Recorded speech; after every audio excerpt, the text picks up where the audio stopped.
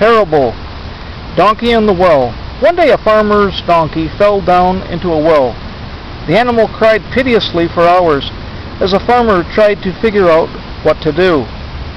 Finally he decided the animal was old, but the well needed to be covered anyway, and that it just wasn't worth retrieving the donkey. So he invited all of his neighbors to come over and help him. They all grabbed a shovel and began to shovel dirt into the well. At first the donkey realized what was happening and cried horribly.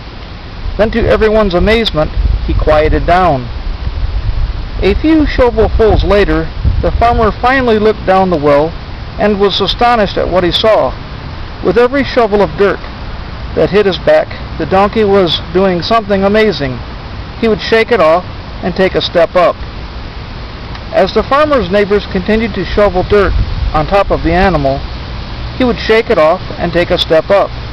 Pretty soon everyone was amazed as the donkey stepped up over the edge of the well and trotted off. Life is going to shovel dirt on you, all kinds of dirt. The trick is to getting out of the well is to shake it off and take a step up.